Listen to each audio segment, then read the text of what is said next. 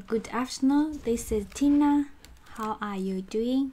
Uh, we're gonna talk about a buffer. First, I want to share a little bit about why do we need a buffer, right?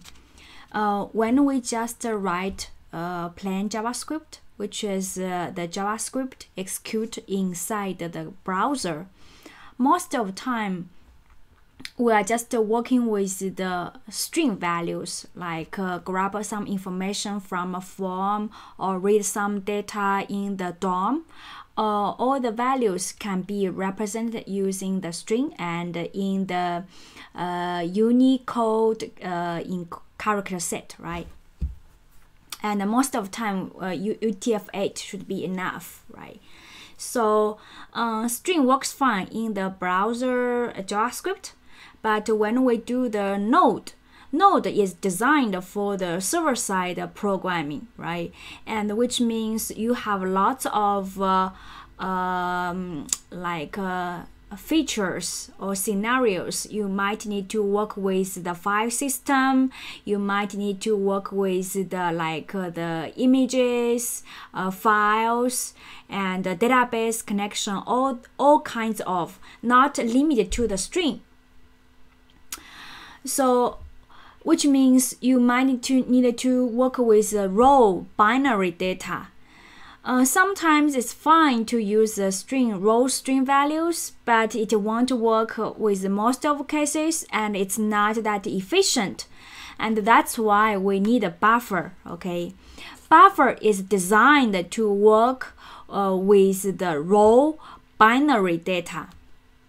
And uh, so each buffer is gonna have a raw memory location outside of our V8, okay, memory location.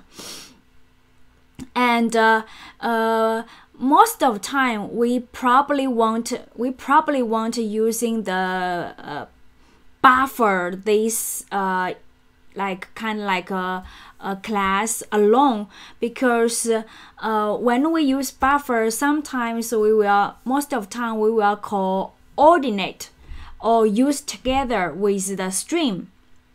Like uh, um, suppose we want to read a file, right? If the file is very, very big, we don't want to read the entire file as a string value returned at once. We want to return a little bit, a little bit, a little bit. And that a little bit of chunk is using a buffer. This is uh, how we're using buffer most of the time with the streams. Or we can using the uh, buffer with the HTTP request response. Those is also a stream, okay? But in this demo, I just want to show you if you really want to using raw buffer and uh, uh, we have the buffer provide some ways to do that. And uh, I'll just show you some very basic demo, okay? Uh, we're using uh, buffer demo.js okay? And suppose you want to have a, a raw buffer okay? Just create a raw buffer one okay? Equals you can using buffer this uh, class dot allocate okay? And you give how many like uh, bytes you want okay if now I want to, I print out this one means 8 byte. And uh, now I go back go to buffer. Oh, sorry. Okay then node buffer demo.js those are using re, uh, 0, 0, 0, okay? So it will print uh, 8 by 8 bytes of 0 for you. This is, uh, uh, it's gonna be in the, in, uh, represent a raw memory location, okay? And uh, suppose you want to, you can also get a buffer from, dot from from. You can get a buffer from some like uh, integers. Okay like uh, 1 4 6 7 2 8 9 like this. And now when we print it also gonna be represented using the buffer too you want to see you want to see. It also print the 8 8 byte 8 byte. Okay this is each is 1 byte. And also you can get a buffer using the buffer dot from. And here you can give also or give a string value.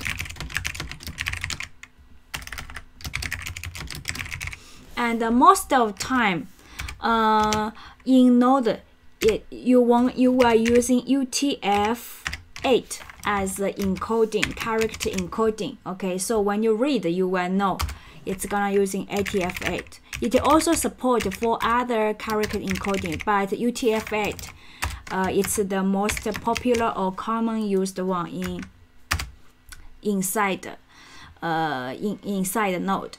And all of them gonna be represent use this one is you each of the character gonna using the UTF-8 to represent that. And if you want to get that you have to using buffer dot to string.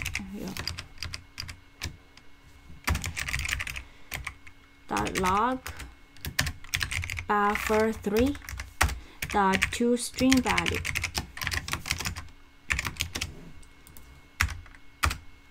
okay you will get exactly and uh, if you want you can also pass uh, pass uh, character encoding what you, which character encoding you are actually using okay so that's it for the buffer because most of the time we probably want to using the buffer alone and most of time we were using with the stream.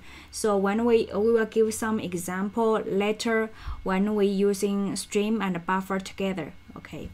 So that's it for the buffer. Thank you for watching and uh, see you next time. Bye bye.